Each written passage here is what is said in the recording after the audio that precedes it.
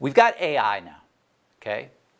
And when we talk about crafting messages, right? I, I, for years now, uh, seven years, I've been doing this coaching, training, consulting, moving company owners. And um, one of the big barriers is always copy, right? What do I what do I write? You know, I'll see websites and I'm just like, oh my God, they need, you know, it's like you got to rewrite all of this. Or emails they're sending the customers, or social media posts, or whatever it might be. Well, now what you do, especially those of you in inner circle, I want you to hear this. I want you to go and I want you to fill out your whole marketing playbook, right? Which is going to give you your, your avatar, it's going to give you your unique value proposition. Then you go to ChatGPT. Many of you probably heard about it.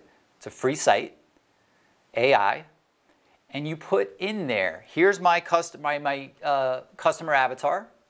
Here's all my unique value proposition.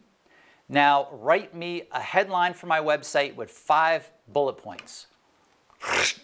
In less than a second, it will write all of it for you, and it's great, right? Especially, you know, for me, I'm, I'm in the business of training, of, of creating content. So, like, but, but if you're not doing it now and you're hiring somebody outside, or you're just putting together words on a page, this will change everything for you. There will be no more staring at a blank screen going, what do I write?